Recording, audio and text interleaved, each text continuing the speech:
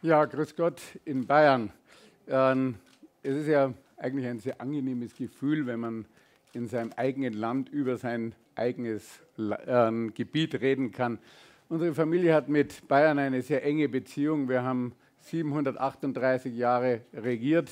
Äh, damit dieses Land, wissen Sie, das ist ich bin einmal in Arabien beim Kongress gefragt worden, bei Familienunternehmen wurde gefragt, wie viele Generationen machen Sie Unternehmen? Da habe ich gesagt, naja, so 27, 28. Dann habe ich gesagt, ja, was machen Sie? Ich habe gesagt, we run the country. Nicht mehr ganz, aber äh, war im Prinzip das Problem, wie schafft man, dass man einen Übergang von einer Generation in die nächste hinbringt. Und das ist bei uns immer ganz gut geglückt mit umfangreichen Verträgen seit dem 13. Jahrhundert. Wenn eine Linie ausstirbt, kriegt es die andere. Und bleibt alles zusammen. Und das ist dann nach 500 Jahren wieder passiert. Dann war die Pfalz und Bayern wieder zusammen. Und so haben wir uns halten können, weil wir relativ früh uns äh, da gute Strukturen gemacht haben.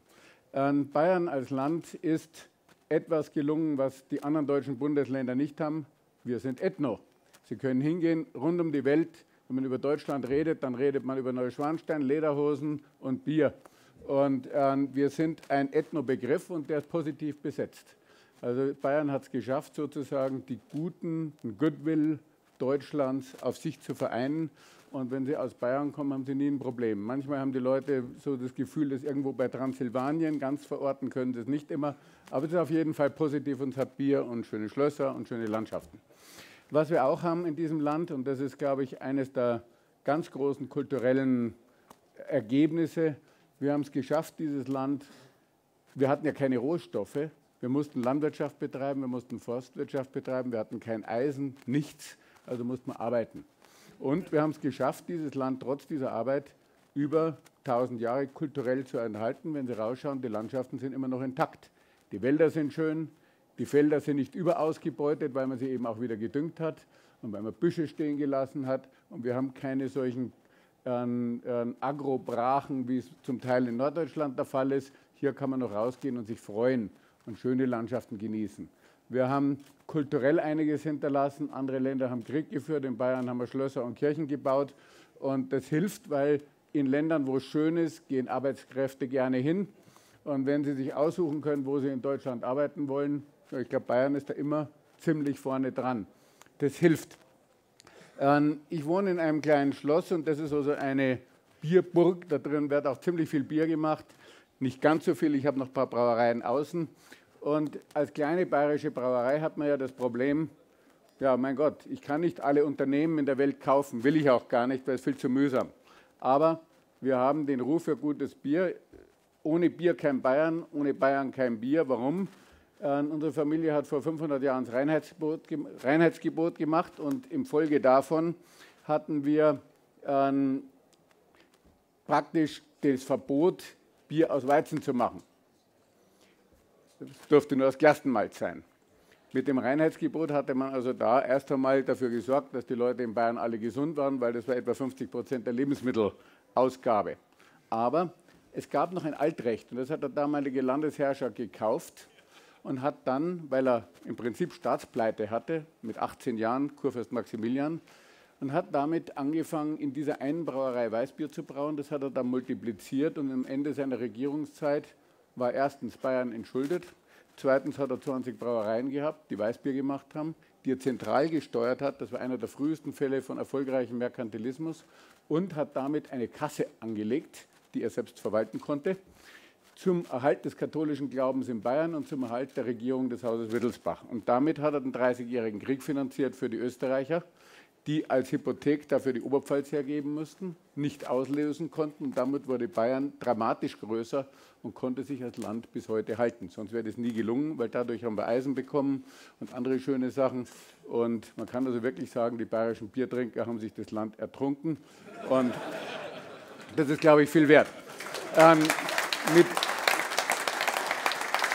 mit mit dieser Idee bin ich auf den Markt gegangen und ich habe geschaut, wo gibt es in der Welt schöne Brauereien, die nicht wissen, wie man gutes Bier macht und es auch nicht gut vermarkten.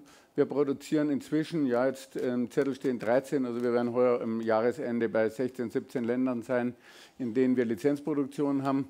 Das geht in Indonesien los. Sie haben Indonesien vorher gezeigt. Wir sind in überall, wo es äh, lustig ist, so wie Weißrussland oder Russland, Ukraine, äh, Indien, Mongolei. Also da, wo Sie gar kein Bier finden, wenn Sie Kaltenberg finden oder König Ludwig, dann sind Sie gut aufgehoben. Neben dem kümmere ich mich für die Familie um Marken. Warum das? Weil Marken sind freiwillig und es gibt viele Leute, die sich den Goodwill unserer Familie und Content ist in der heutigen Zeit ganz wichtig. In der digitalisierten Welt wollen die Leute echtes. Und wir haben echten Hintergrund mit Jahrhunderten Erfahrung und mit Jahrhunderten erprobter Qualität. Und dieses Echte, was wir haben, können wir natürlich farmen und wirklich auch pflegen. Jetzt kommt aber das Problem, dass andere Leute sagen, wunderbar, vor allem die Tourismus- und die Souvenirindustrie, und die sagt, naja, Schlösser oder Könige ist freiwillig, kann jeder haben. Zack, und dann wird es auf ein Bierkrug gepappt oder auf ein Produkt drauf und dann ist ein Bayernbild, das wirklich einer Sau graust. Wenn Sie mal schauen, wie die Leute von der Wiesenheim gehen, dann haben Sie ein beredtes Beispiel, also Bierfass mit Zapfhahn vorn raus, das ist das Souvenir von Bayern, so stellen wir uns dar. Deswegen habe ich also sensible Bereiche der Familie unter Trademarkschutz gemacht, das ziemlich weltweit und kann es damit steuern, was damit gemacht wird. Damit haben wir wieder Produkte gemacht mit allen möglichen Unternehmen.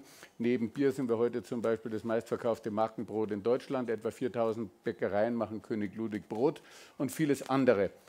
Nymphenburg. Vor ein paar Jahren hat sich die Gelegenheit gegeben, dieses wunderschöne kleine Unternehmen zu übernehmen. Jetzt ist es so, bei Porzellan haben ja alle gesagt, Hände über den Kopf zusammenschlagen kann nicht gehen. Ich meine, das kann sehr gut gehen, weil Nymphenburg ist die letzte Manufaktur, in der alles im Haus gemacht wird. Der Rohstoff aus drei Steinsorten, der wird dort über zwei, drei Tage gemahlen mit Wasserkraft. Wir machen unseren Rohstoff selbst. Ein Porzellan-Staubkorn ist 70 μ, also so, klein, so feine Porzellanmasse hat sonst niemand. Es wird zwei Jahre gelagert. Wir machen 15.000 verschiedene Farboxide im Haus. Wir stellen alle Teller auf der Drehscheibe her. Wir können damit bis zu einem Millimeter dünn. Das können alle anderen nicht, wenn sie in der Hochdruckpresse in Berlin oder in Sachsen arbeiten. Wir brauchen keine Deviation in andere Produkte. Wir brauchen keine Nymphenburg-Möbel oder Bettwäsche, sondern wir machen Bettwäsche unter König Ludwig, weil ich damit absichere, dass es nicht gestohlen wird, der Name. Aber bei Nymphenburg, das ist eine Reinmanufaktur und das bleibt sie auch. Wir machen da keine Kompromisse in irgendeiner Weise. Und ich glaube, in einer Zeit, wo alle einen fünften Rolls-Royce schon im Auto haben oder drei Porsches und dann noch ein SUV und noch ein Oldtimer, dann kommt irgendwann der Gast auch nach Hause. Und dann kommt das Geschirr von Aldi. Und das ist peinlich. Also Nymphenburg hat kein Problem, weil wir malen alles freihand. Und wenn Sie jetzt sagen, ich will meine Oldtimer mal auf dem Porzellanservice oder meine Lieblingstiere oder Landschaften oder auch nur mein Logo, meinen Namen, meine Initialen, dann machen wir das. Und ähm, das hat bei Nymphenburg dazu geführt, dass wir in den letzten Jahren plötzlich wieder schöne, große Aufträge kriegen von Privatleuten, die sagen, ich will mein Geschirr, und zwar nicht das Blümchengeschirr meiner Großmutter, sondern etwas von einem der besten Designer der heutigen Zeit. Wir haben einige dieser beschäftigt und machen damit tolle Produkte. Kann ich nur sagen, wenn Sie wirklich mal was haben wollen, was die anderen nicht haben, bei uns gibt es Sachen, die eben kein anderer kriegt. Die kriegt es dann nur für sie. Und das hat Erfolg. Wir glauben, dass wir Nymphenburg damit aus gerettet haben als Kulturgut. Und ein Kulturgut zu erhalten, das 270 Jahre in Bayern produziert wurde. Porzellan war ja der erste Industriediebstahl. Wir haben das Know-how von Chinesen geklaut vor 270 Jahren. Ähm, sowas muss erhalten werden, schon um zu zeigen, dass Europa auch was sehr gut nachmachen kann und verbessern. Vielen Dank.